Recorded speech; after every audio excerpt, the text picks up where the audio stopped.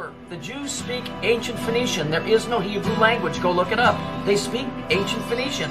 The word Israel in Phoenician means Saturn. The children of Israel, the children of Saturn. There are striking resemblances between the biblical God of the patriarchs and the Canaanite god El. El is the head of the council of gods. He is said to have a long white beard. He dwells on a mountain top in a tent. His epithets include father of all creatures, bull, king. He is also described as the protector of patriarchs, patriarchal figures, a god of the father of the clan, it says in the text. He guides them, he protects them, he promises them descendants. Many biblical passages depict God exactly this way, as the head of a council of divine beings.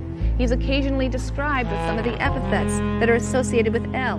He's referred to as the father of all creatures. There are poetic passages in which he is referred to as bull, also certainly as king. And in the patriarchal narratives, God refers to himself as the God of the Father. I am the God of the Father, the same way El is referred to. He guides and protects the patriarchs. He makes promises of progeny to Abraham and his heirs. Um, he also is associated with a mountaintop, Sinai, and gives instructions for the building of a tabernacle, a tent like structure in which he will dwell. Many personal and place names in the patriarchal narratives are compounds in which one element is El. Yisrael, Yishmael, Beth El. El is the God of the patriarchs. By contrast, after the time of Moses, Israelite names start to be formed using Yah or Yahu as part of the name Yahweh. Elijah in Hebrew is Eliyahu. So you start to have theophorics, names that use the name of a deity, which are using forms of Yahoo instead of El.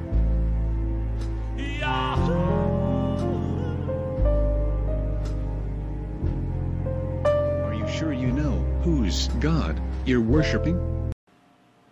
Get up in the morning, slaving for bread, sir, so that every mouth can be fed. Poor, poor me, me Israelite. Up in the morning, slaving for bread, sir, so that every mouth can be fed. Poor, poor me, Israelite.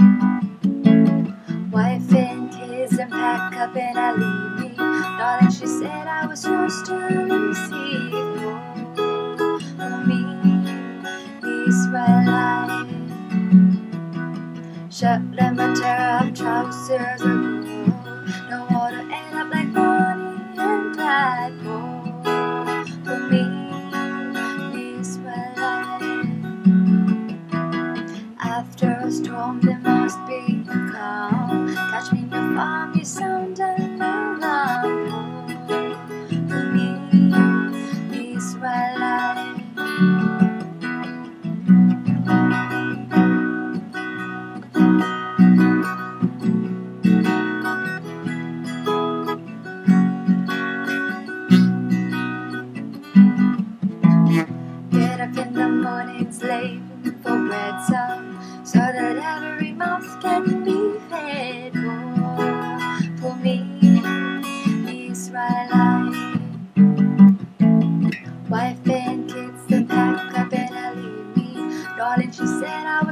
for me, me Israelite. Shut let my tear off trousers ago. Don't wanna end up like Bonnie and Clyde. For me, me Israelite. After a storm, there must be a calm. Catch me in your you sound an alarm.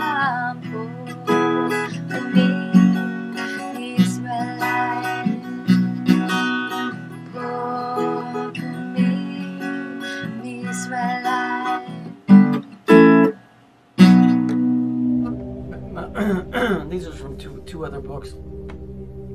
The first one is talking about the return of the Golden Age, um, alchemy, bringing everything back, which I've been stating for a long, long time. Um, this isn't hidden knowledge. It's all about trying to, in their minds, correct, correct. Well, as I was told by a guy that's involved in some real serious stuff, and I ain't even sure the dude was from around here. And I mean that in a literal sense. I don't know if he was real or if he was a spirit or what. But all he told me was, is he put his hand up to the sky when we were inside the restaurant, and he said, "We don't need any of that," meaning they don't. He doesn't need anything of God. Okay, um, that's a very weird story about that guy for another time. But it's it's it's starting over and leaving that part of it out. Okay. Um, the second one, you can go ahead and read that. Um, there's a particular part in here. This is just comparing.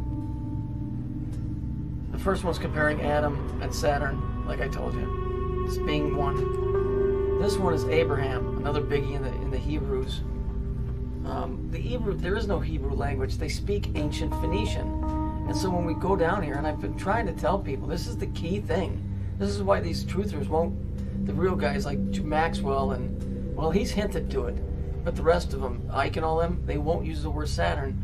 It says, look, the name of the planet Saturn is by the Phoenicians called Israel.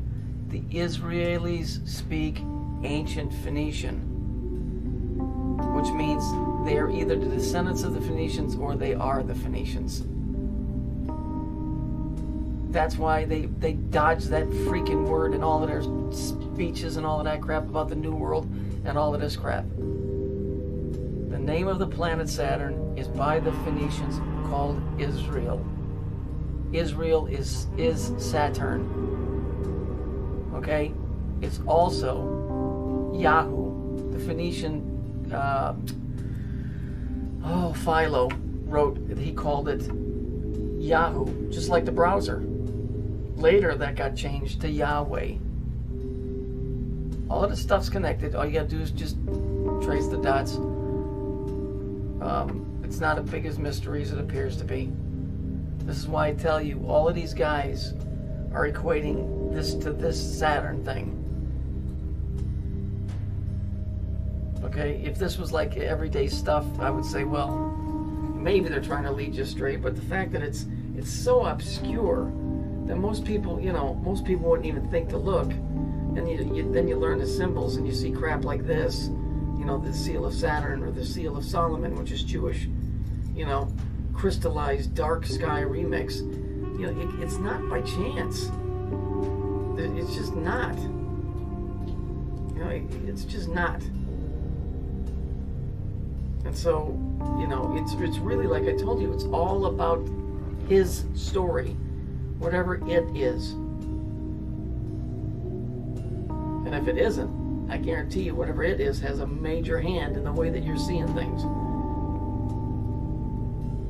So now that you know that the, the word Israel means Saturn in Phoenician, and the Jews speak ancient Phoenician, there is no Hebrew language. It's pretty obvious why they have a hexagon with six points on their flag. It's not that big of a mystery when you understand it. It's nice if you have a biblical background because it's the only textbook that we have that's written that gives us any clue. If you can read Sumerian and Babylonian, um, please let me know what you find out. But I mean, this is really all we've got. So, you know, the the symbols bear out bear out the story more than the written does, because the symbols don't lie; they're reoccurring over and over and over again. Stories can change, things can be interpreted. When you see the same symbol over and over again, yeah, you can only stretch that so far before you got to say, yeah, it means the same thing. So these are just bits and pieces I'm giving you to look at to compare. The main thing on this one is Saturn is Israel, and they know that, and that's what all of this is about.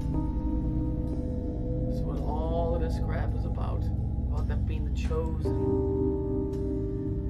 Right then. Okie doke. You keep telling yourself whatever makes yourself feel better.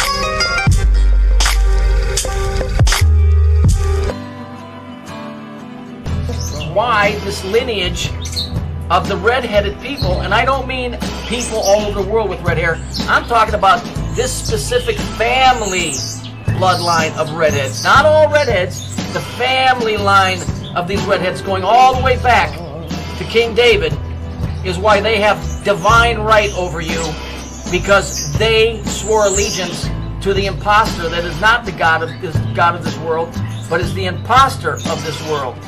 Watch. Okay, take a look. Red hair, also referred to as Titan.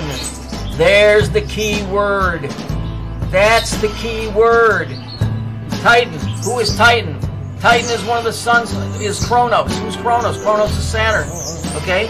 So the red hair, the red hair, right, is is the mark from the Old Testament. This is the mark, the ruling, the ruling, the ruling power structure is all those with red hair. And you in the UK, I know that you know because I've looked at them. They all got red hair. Even though Princess Diana in most of her pictures looked like she's blonde, she had red hair. So does Fergie and all the rest of them. That specific bloodline goes all the way back to Babylonia. The bottom line is, is it's this family and they use the red hair as their mark as the Titans, or as they're also known, the Trojan warriors for Kronos.